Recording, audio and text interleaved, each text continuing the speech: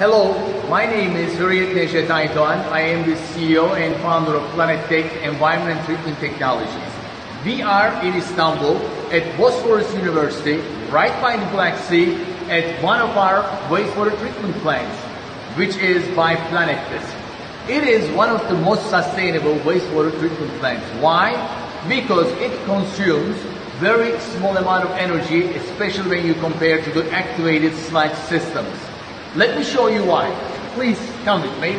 Now, before this treatment plant, there was another treatment plant here. It was an activated sludge system, and it was 12.5 times two blowers, which is approximately 25 kilos.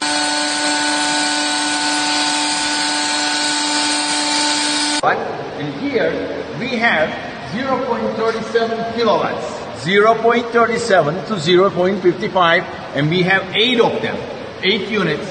So that makes approximately 2.5 kilowatts. So when you compare 2.5 versus 25, it's more than 90% of energy saved. Now, we are one of the 20 companies in the world with a registered RBC brand. We have services in 11 countries and very soon in Australia that will be number 12, hopefully. And let me show you what makes this system so special. Okay, let's go. Okay, in an activated sludge system, what you have is a blower which gives oxygen to the wastewater. Here, let me show you. This is the window, just to look inside. You can see that there are discs, PP discs, rotating at 3 RPM, at very slow RPM, and the bacteria sticks to the surface of the discs, requires oxygen. And what happens is, it's got windows at the top, it's got windows on the side, and the air enters through those windows, and the bacteria meets the oxygen, and it does the oxidizing, it does the digestion, which is biological wastewater treatment plant. It is very simple. Now, because of this, now there are so many complicated systems like MBR, MBBR, or other systems, reverse osmosis. What makes the system so beautiful is the sheer simplicity. As a matter of fact, on our catalogs and on our mottos, we have Leonardo da Vinci's words, which is simplicity is the ultimate sophistication.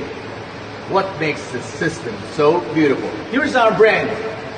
PlanetDISK. Now it is registered all over the world, and like I said, we are in several countries for 14 years now. It goes through the first system, the wastewater, then it comes to the second unit, depending on what the capacity. Now in this unit or in this plant, we have 3,500 people.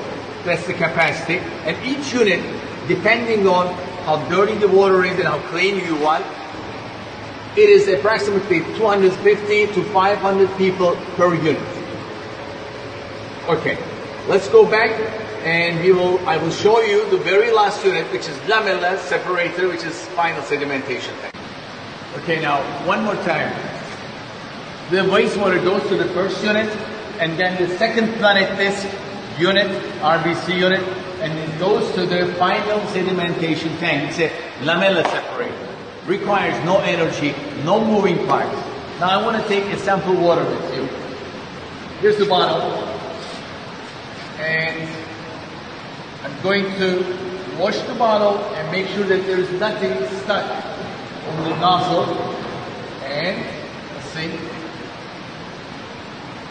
Beautiful.